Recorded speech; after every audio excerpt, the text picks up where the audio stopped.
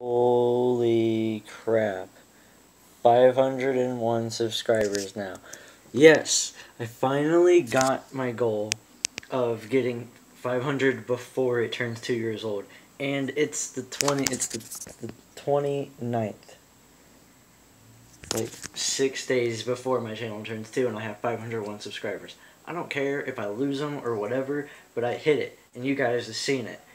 Oh, that's just oh, I'm like I'm about to like freaking upload my daily vlog and then this. I'm gonna have to do something special for you guys. Whatever I don't know. You guys have to tell me below what I should do. Like oh, this makes me happy.